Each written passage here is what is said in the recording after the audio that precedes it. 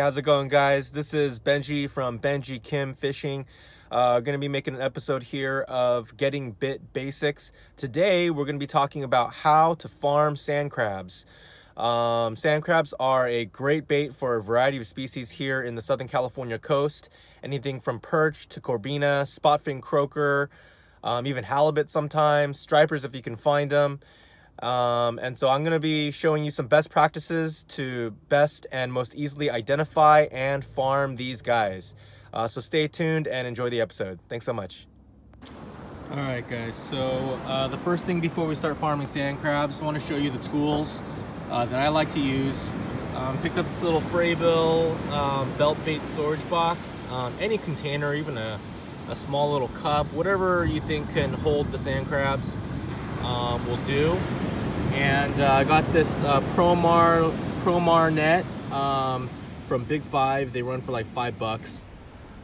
Now, when you get to the beach, uh, the first thing you want to do, um, any any local beach will do, especially in the heat of summer. We're still in May. The water still, the water and the the weather is still heating up, so um, they are starting to show.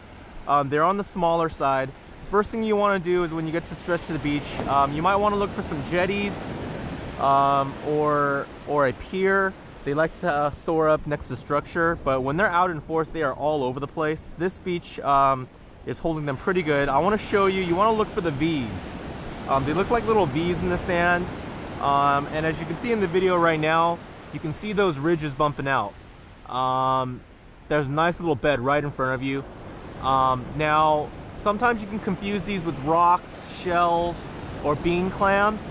But when you get to know uh, what these sand crabs look like, um, they are pretty distinct and you can kind of pick them out from those other things that can distract you. Um, but what you want to do, and a lot of times when the water runs past them, um, they're feeding and they're sticking out in the water um, to pick up whatever food they can get. So you can see them best as the water runs over them.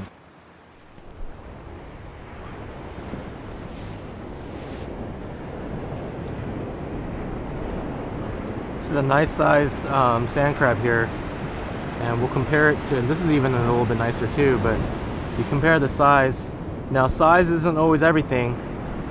Um, you can see this shell is really dark and uh, that generally means it's a hard shell sand crab. The soft shells are going to be a lot lighter.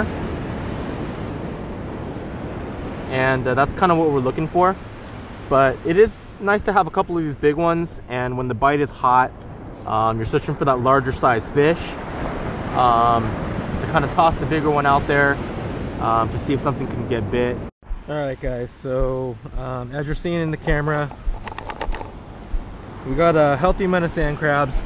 Just as a reminder the bag limit um, for sand crabs is 50 in one time. So you can farm up to 50 if you are stopped by the Department of Fish and Game um, and they check your stuff and they see that you have over 50, um, you will be issued a citation. Um, you will be given a ticket and that's uh, a couple hundred bucks that I'm sure all of us would not want to part with.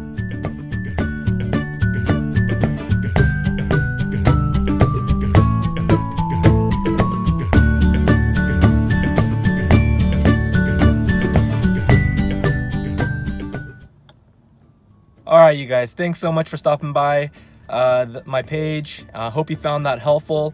Uh, with the sand crabs remember the bag limit is 50 and so um, keep it to that bag limit so you don't have to uh, worry about getting a ticket.